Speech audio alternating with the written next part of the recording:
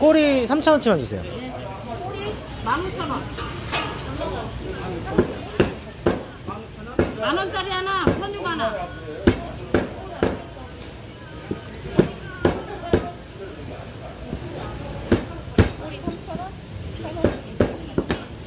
그냥 그거 내. 맛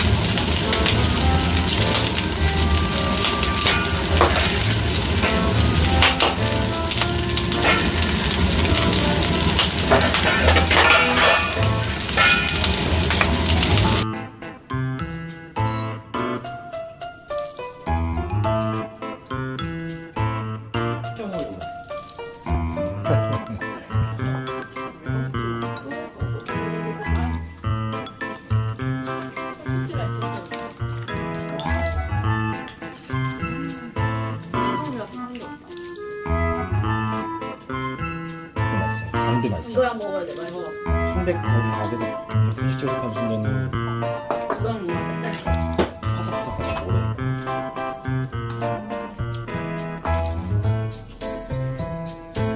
오빠가 이거 그런 거야. 또 불닭 먹어도 컵라면이 있어. 떡볶이만 아니야, 그거? 응?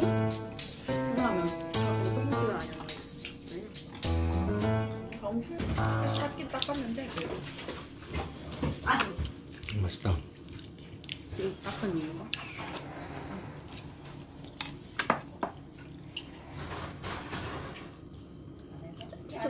자체에서 좀 그런 내가 나.